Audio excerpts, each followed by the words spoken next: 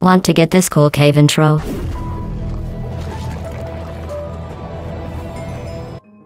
Download the required mods link below the video.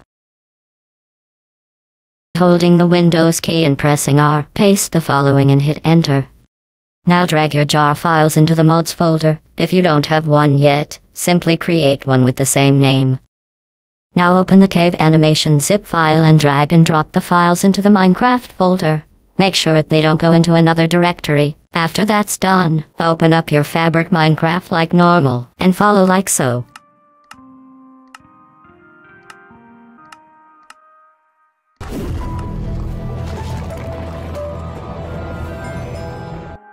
Save the layout with whatever name you want and exit.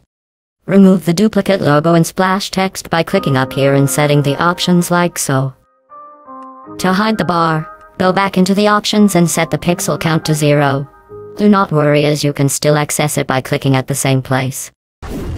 Now whenever you start the game, you should be greeted with a new intro. To enable the menu settings set the pixel count above zero. Want to get this cool and dark creeper loading screen? Check out the tutorial here.